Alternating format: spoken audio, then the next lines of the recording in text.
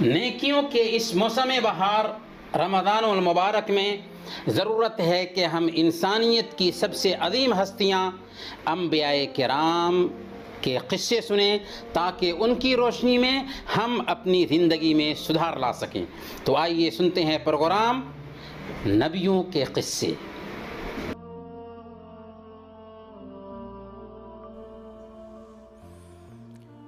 बिस्मिल्लाह वसलात वसलाम अला रसूलिल्लाह व अला आलिहि व सहबिहि अजमईन वबाद मुहतरम नादरीन अस्सलाम वालेकुम व रहमतुल्लाहि व बरकातुहू प्रोग्राम नबियों के क़स्से में आप सबका इस्तकबाल है आज हम अल्लाह के नबी हज़रत सुलेमान अलैहिस्सलाम का क़स्सा बयान करेंगे हज़रत सुलेमान अलैहिस्सलाम हज़रत दाऊद अलैहिस्सलाम के बेटे हैं, साहबजादे हैं। आपका नसब हज़रत याकूब अलैहिस्सलाम से होते हुए हज़रत इब्राहीम अलैहिस्सलाम तक पहुँचता है। कुरान करीम में हज़रत सलेमान अलैहिस्सलाम का सत्रह बार नाम आया है। हज़रत दाऊद अलैहिस्सलाम के जैसे ही हज़रत सलेमान अलैहिस्सलाम को भी अल्लाह ताला ने नबूवत और बादशाहत दोनों से नवाजा था।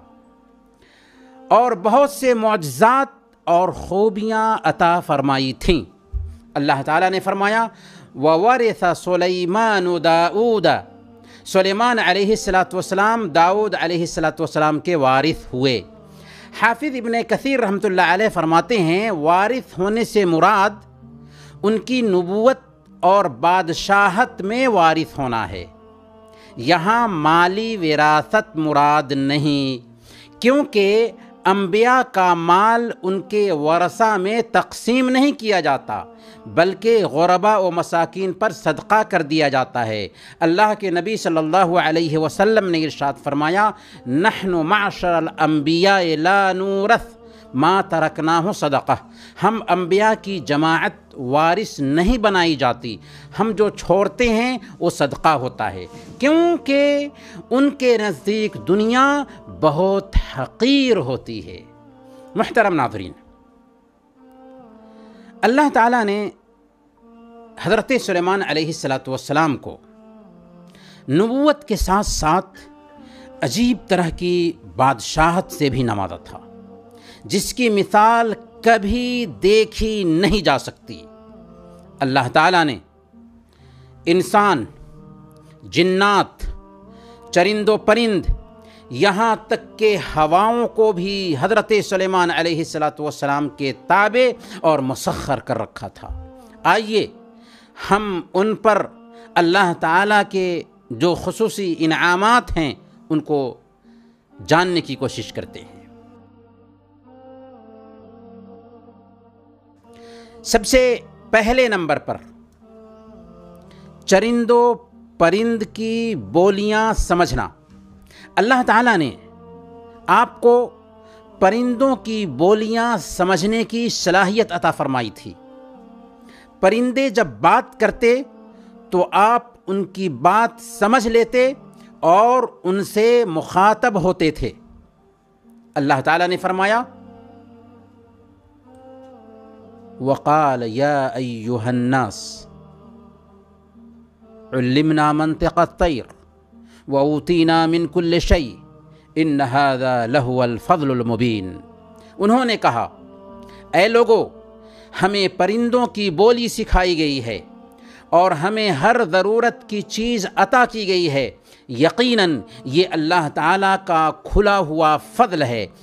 जी हाँ ये अल्लाह का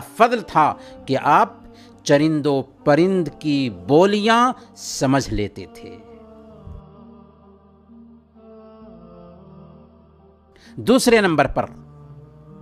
हज़रत सलेमान अलैहिस्सलाम के लिए जिन्नात का मुसखर और ताबे होना। अल्लाह ताला ने हज़रत सलेमान अलैहिस्सलाम के लिए जिनों को मुसखर और ताबे कर दिया था। जैसे चाहते आप उनसे काम लेते थे अल्लाह रब्बुल ने फरमाया वमिन जिन्न मैमल यदई बेदन रबी वमन यज़िक हम अन अमरिना नुदिक मिन अदाब और उसके रब के हुक्म से बाद जिन्नात उसकी मातहती में, यानी हज़रत सलेमान सलाम की मातहती में, उसके सामने काम करते थे और उनमें से जो भी हमारे हुक्म से सरताबी करे, हम उसे भड़कती हुई आग के अदाब का मज़ा चखाएँगे। जिन्नात हज़रत सलेमान सलाम के हुक्म से बुलंदो बाला इमारतें तामीर करते थे। दीवारों पर तस्वीरें बनाते थे और मुमकिन है कि उनकी शरीयत में ये तस्वीरें जायज़ रही होंगी। हालाँकि हमारी शरीयत में मुजस्मे और तस्वीरें बनाना जायज़ नहीं है। उसी तरीके से ये जिन्नात बड़े बड़े हौद और बड़ी बड़ी देगें बनाते थे, जो अपनी जगह से हिलती भी नहीं थीं। उन देगों में खाना पकाया जाता और इंसानों और जानवरों को खिलाया जाता था। अल्लाह ताला ने फरमाया, यामलून लहू मा यशा मिन महारीब व तमासील व जेफ़ान कल जवाबी रासियातिन। और जो कुछ सुलेमान चाहते, वो जिन्नात तैयार कर देते थे। मिसाल के तौर पर किले और मुजस्मे और हौदों के बराबर लगन और चूल्हों पर जमी हुई मज़बूत देगें। कुछ जिन्नात की ज़िम्मेदारी थी कि समंदरों में गोता लगाकर हीरे, जवाहरात और मोती निकाल लाएँ। चुनानचे वो जिन्नात दरिया में गोता लगाते और उसमें से हीरे, जवाहरात और मोती निकाल कर लाते थे। हज़रत सलेमान सलाम जिन्नात से वो काम लेते थे, जो काम इंसानों की ताकत से ज़्यादा होते थे। जो जिन आपके हुक्म के ख़िलाफ़ चलते या आपकी मुखालफत करते या रुकावट डालते तो आप उन्हें जंजीरों में जकर दिया करते थे, कैद कर दिया करते थे। अल्लाह ताला ने फरमाया व वशयातीन कुल्ल बन्नाइन व गवास व आखरीन मुकर्रनीन फिल असफाद। और ताकतवर जिन्नात को भी उनका मातहत कर दिया था। उनके अंडर में कर दिया था। हर इमारत बनाने वाले को और गोता खोर को जो समुंदर में गोता लगाते थे और दूसरे जिन्नात को भी जो जंजीरों में चक्रे रहते थे। ये कौन होते थे? जो हुक्म से सरताबी करते थे, हुक्म के ख़िलाफ़ चलते थे तो उनको हज़रत सलेमान सलाम कैद कर दिया करते थे। हज़रत सलेमान सलाम के मुआजात में से। तीसरा मुआजा ये था कि हवा का अल्लाह रब्बुल आलमीन के हुक्म से आपके ताबे हो जाना। हवा आपके लिए मुसखर कर दी गई थी। आप जहाँ चाहते, हवा आपको वहाँ पहुँचा दिया करती थी। अल्लाह ताला ने इसका ज़िक्र किया, फ़सखरना लहुर्रीह तजरी बेअमरही रुखाअन हैसो असाब। बस हमने हवा को उनके मातहत कर दिया, उनके अंडर में कर दिया और आपके हुक्म से जहाँ आप चाहते, नरमी से हवा आपको पहुँचा दिया करती थी। सुबहान अल्लाह क्या इनाम था अल्लाह रब्बुल का हज़रत सलेमान सलाम पर कि अल्लाह ताला ने हवा को भी आपके ताबे और मुसखर कर दिया था। आप हवा के दरिया, दुश्मन के ख़िलाफ़ जिहाद वगैरह के लिए सफ़र करते थे। जैसे एक आदमी अपनी सवारी की लगाम थाम कर सवारी को जिधर चाहता है, उधर ले जाता है, उधर चलाता है, वैसे ही हवा आपके ताबे थी, आपके मुसखर थी, आप जैसे चाहते थे, उसे चलाते थे, जिस तरफ़ चाहते थे, ले जाते थे। आप हवा को जहाँ जाने का हुक्म देते, वहाँ हवा जाती थी, और जिस रफ्तार से चलने का हुक्म देते, उस रफ्तार से हवा चला करती थी।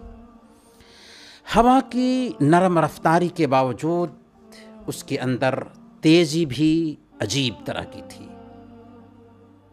एक सुबह या एक शाम में एक महीना की मसाफत तय कर लेती थी। अल्लाह ताला ने फरमाया वसलैमान गदूहा शहरुन व रवाहुहा शहरुन। और हमने सुलेमान के लिए हवा को मसखर कर दिया कि सुबह की मंजिल उसकी एक महीना भर की होती थी और शाम की मंजिल भी एक महीना भर की होती थी। गोया के ये हवा इतनी तेज थी कि अल्लाह के हुक्म से एक सुबह या एक शाम में एक महीना भर की मसाफत तय कर लिया करती थी। हज़रत सलेमान अलैहिस्सलाम के मुआज़ों में से चौथा मुआजा था तांबे के चश्मे बहाना। अल्लाह ताला ने हज़रत सलेमान अलैहिस्सलाम के लिए पिघले हुए तांबे का चश्मा बहा दिया था। आपको चूँकि अजीमशान इमारतें, पुरशिकोह किले और बड़े बड़े हैकल बनाने का बहुत ज़्यादा शौक़ था चुनानचे अल्लाह ताला ने आपके लिए चूने और गारे के बजाय पिघले हुए तांबे का इंतज़ाम कर दिया था। और बाबा पिघले हुए तांबे का चश्मा ही जारी कर दिया था अल्लाह रब्बुल आलमीन ने। जैसे अल्लाह ताला ने हज़रत दाऊद अलैहिस्सलाम के लिए लोहा को नरम कर दिया था, जिसका क़स्सा हम सुन चुके हैं, वैसे ही हज़रत सलेमान अलैहिस्सलाम के लिए पिघले हुए तांबे का चश्मा जारी कर दिया था। अल्लाह ताला ने फरमाया, व असलना लहू आइन अलक़ित्र और हमने उनके लिए तांबे का चश्मा बहा दिया। किन के लिए? हज़रत सलेमान अलैहिस्सलाम के लिए। इमाम इबन कसीर रहमत ने कतादा रहमत से नकल किया है कि पिघले हुए तांबे का ये चश्मा अल्लाह ताला ने हज़रत सलेमान अलैहिस्सलाम के लिए यमन में जारी किया था। गर्द के अल्लाह ताला ने हज़रत सलेमान अलैहिस्सलाम को बेमिसाल बादशाहत से नवाजा था। आप इंसान ही नहीं, बल्कि जिन्नात, जानवरों और परिंदों के भी हाकिम थे। अल्लाह ताला ने फरमाया व हशर सलेमान जुनूदहू मिनल जिन्न वल इंस व तैर फ़हम यूज़ऊन। सुलेमान के सामने उनके तमाम लश्कर, जिन्नात और इंसान और परिंद में से जमा किए गए हर हर किस्म की अलग अलग दर्जा बंदी कर दी गई। आपको अल्लाह ताला ने हर चीज़ अता फरमाई थी, हर नेमत से माला माल किया था। इसीलिए अल्लाह ताला ने हज़रत सलेमान अलैहिस्सलाम की ज़बानी फरमाया, व ऊतीना कुल्ल शई और हमें सब कुछ अता किया गया। यानी असलहा, अफवाज, साजो सामान, जिन्नात, इंसान, चरिंदो परिंद, और तमाम हैवानात यहाँ तक के हवा भी आपके ताबे किए गए। और ये दरअसल आप की उस दुआ का नतीजा था जो आपने अल्लाह रब्बुल आलमीन से की थी। क्या दुआ की थी? रब गफिरली वहबली मुल्कन लायम बगील बादी। ए मेरे रब, मुझे बख्श दे और मुझे ऐसी बादशाहत अता फरमा जो मेरे बाद किसी शख्स के लायक न हो। चुनानचे अल्लाह रब्बुल आलमीन ने हज़रत सलेमान अलैहिस्सलाम की दुआ कबूल फरमाई और ऐसी बादशाहत अता फरमाई जो आपके बाद किसी के लायक नहीं। सही बुखारी और मुस्लिम की रवायत है। हज़रत अबू रदी अल्लाह तु बयान फरमाते हैं कि अल्लाह के रसूल सल्लल्लाहु अलैहि वसल्लम ने फरमाया, कल रात, यानी गुज़श्ता रात, एक सरकश जिन मेरे सामने आ गया। अल्लाह के नबी सल्लल्लाहु अलैहि वसल्लम फरमाते हैं कि पिछली रात एक सरकश जिन मेरे सामने आ गया ताकि मेरी नमाज़ ख़राब कर दे। लेकिन अल्लाह ने मुझे उस पर कुदरत दे दी और मैंने उसे पकड़ लिया, दबोच लिया। फिर मैंने चाहा कि उसे मस्जिद के किसी सुतून से बाँध दूँ ताकि तुम लोग भी उसे देख सको। लेकिन मुझे अपने भाई हज़रत सलेमान अलैहिस्सलाम की दुआ याद आ गई। रब गफ़िरली वहबली मुल्कन लायम बगील बादी। कि ए मेरे रब, मुझे बख्श दे और मुझे ऐसी बादशाहत अता फरमा जो मेरे बाद किसी के लायक न हो। इसीलिए मैंने उसे जलील और रसवा करके आज़ाद कर दिया, छोड़ दिया। महतरम नादरीन, अब आइए हम हज़रत सलेमान अलैहिस्सलाम से मुतल क़स्से और वाक़यात आपकी खिदमत में पेश करते हैं।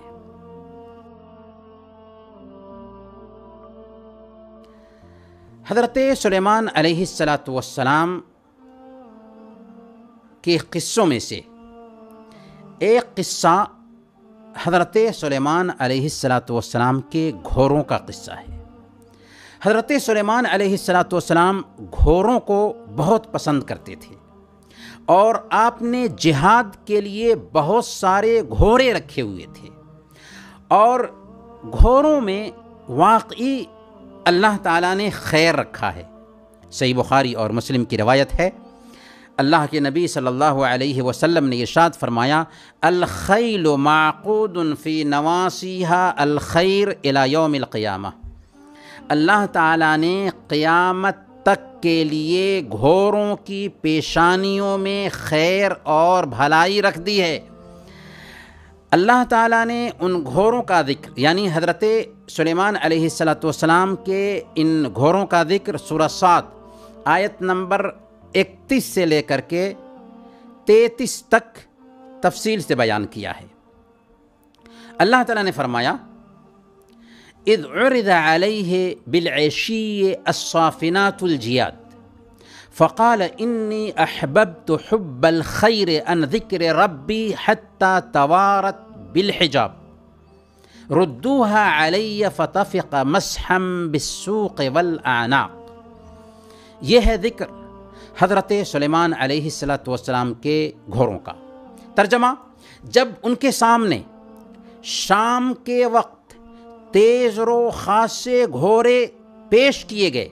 हज़रत सलेमान अलैहिस्सलाम के सामने शाम के वक्त जब ये तेज़ घोड़े पेश पेश किए गए तो हज़रत सलेमान अलैहिस्सलाम कहने लगे, मैंने अपने परवरदिगार की याद पर उन घोड़ों की मोहब्बत को तरजीह दी, यहाँ तक के सूरज डूब गया। उन घोड़ों को दोबारा मेरे सामने लाओ, फिर तो पिंडलियों और गर्दनों पर हाथ फेरना शुरू कर दिया। कुछ समझ में आया? नहीं समझ में आया। इन आयत की तफसीर में मुफसरीन की दो राय है। एक ये कि हज़रत सलेमान अलैहिस्सलाम ने एक मर्तबा हुक्म दिया कि इस्तबल से घोरों को लाया जाए। चुनानचे आपके सामने ये घोड़े पेश किए गए। घोड़े दौड़ लगा रहे थे और आप शौक से उन्हें देखने में लगे हुए थे।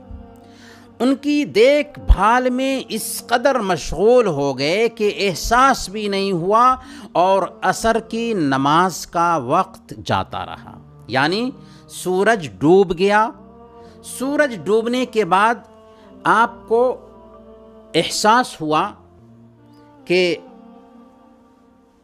घोरों में मशगूलियत ने नमाज़ से आपको गाफिल कर दिया है। माल की मोहब्बत अल्लाह की याद पर गालिब आ गई है, तब आपने उन घोरों को वापस बुलाया और अल्लाह की मोहब्बत में सबको दबह कर दिया। इस सिलसिले में दूसरी राय हज़रत इबन अब्बास रज़ी अल्लाह अनहुमा की है कि जिहाद की एक मुहिम के मौका पर हज़रत सुलेमान अलैहिस्सलाम ने जिहाद के घोरों को लाने का हुक्म दिया। जब ये घोड़े आपके सामने पेश किए गए तो आप उनको देखकर बेहद खुश हुए और फरमाने लगे कि इन घोरों से मेरी ये मोहब्बत मेरे रब के ज़िक्र का एक तरीक़ा है। फिर उन घोरों को इस्तबल ले जाने का हुक्म दिया। जब वो आपकी नज़रों से ओझल हो गए तो उन्हें वापस लाने का हुक्म दिया। जब वो वापस लाए गए तो मोहब्बत से पिंडलियों और गर्दनों पर हाथ फेरने लगे। इस राय को इमाम इबन जरी रहमत ने इख्तियार किया है। इन दो रायों में इमाम इबन कसीर रहमत ने पहली राय को तरजीह दी है कि इन घोरों को अल्लाह के नबी हज़रत सलेमान अलैहिस्सलाम ने ज़बह कर दिया था। नमाज़ में ताख़ीर हो जाने की वजह से। और कहा है कि मुमकिन है कि उनकी शरीयत में ऐसा करना जायज़ रहा हो। ख़ासकर उस वक्त जबकि उन्होंने अल्लाह के लिए ऐसा किया कि घोरों ने आपको नमाज़ का वक्त निकलने तक मशगूल किए रखा, उसमें आप मशगूल रहे, यहाँ तक कि नमाज़ का वक्त निकल गया। इसीलिए जब घोड़े आपके हाथ से निकल गए तो अल्लाह ताला ने हवा को आपके ताबे और मुसखर कर दिया। जो आपको जहाँ चाहते वहाँ लेकर जाती थी। ये है इमाम इमर कसीर रहमत का कौल और इसी कौल को शेख़ुलस्लाम इबन तैमिया रहमत इमाम इबन क़यम रहमत इमाम शौकानी रहमत और अक्सर मुफसरीन ने इख्तियार किया है। और ज़ाहिर है कि हज़रत सलेमान अलैहिस्सलाम का उन घोरों को ज़बह करना कोई गोश्त बर्बाद करने के लिए नहीं था, उनको ज़ाय करने के लिए नहीं था, बल्कि उसका गोश्त इस्तेमाल करने के लिए था। और हमारी शरीयत में भी घोड़े का गोश्त खाना जायज़ है।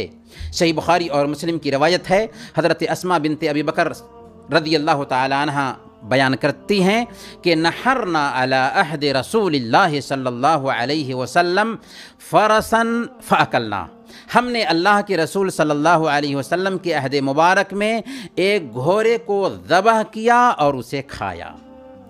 हज़रत सलेमान सलाम के घोड़े का क़स्सा वाकई बहुत मशहूर है। सुन नबी दाऊद की एक रिवायत है सैदा आयशा सिद्दीक़ा रदी अल्लाह तहा बयान करती हैं कि अल्लाह के रसूल सल्लल्लाहु अलैहि वसल्लम तबूक या गज़व खैबर से लौट कर आए, आपके घर में पर्दा लगा हुआ था। हज़रत आयशा सिद्दीक़ा रदी अल्लाह तहा ने अपने घर में पर्दा लटका रखा था। जब हवा चली तो दरीचा का एक हिस्सा खुल गया। उसी जगह पर हज़रत आयशा सिद्दीक़ा रदी अल्लाह तहा के खेलने की गुड़िया रखी हुई थी। आपने पूछा, आयशा, ये क्या है? सईद आयशा सिद्दीक़ा रदी अल्लाह तहा ने कहा कि मेरी बेटियाँ, यानी मेरी गुड़ियाएँ हैं, जिनसे मैं खेलती हूँ। आपने उन गुड़ियों में से एक घोड़ा देखा। जिसके दो बाजू थे। आपने फरमाया, ये बीच की गुड़िया क्या है? सईद आयशा सिद्दीक़ा रज़ी अल्लाह तह ने कहा कि ये घोड़ा है। आपने पूछा, क्या घोड़ों के भी बाजू होते हैं? तब सईद आयशा सिद्दीक़ा रज़ी अल्लाह तह ने अर्ज़ किया, जो नहायत ही जहीन फ़तीन ख़ातून थीं, हालाँकि छोटी उम्र की हैं आपने कहा कि आपने सुना नहीं कि हज़रत सुलेमान अलैहिस्सलाम के घोड़े थे और उनके भी बादू थे? ये सुनकर आप सल्लल्लाहु अलैहि वसल्लम इस कदर हंसे कि आपकी दाढ़ें ज़ाहिर हो गई। मुहतरम नादरीन अब तक हमने हज़रत सलेमान अलैहिस्सलाम के बहुत सारे मुआजात के बारे में सुना और आपके घोरों के बारे में भी जानकारी हासिल की। अभी हज़रत सलेमान अलैहिस्सलाम से मुतल्लक़ा बहुत से दिलचस्प और सबक आमोज़ क़स्से बाकी हैं, जिन्हें हम अगले एपिसोड में बयान करेंगे। तब तक के लिए इजाज़त दीजिए। वसल नबीना महमद व आला आलिहि अजमाइन।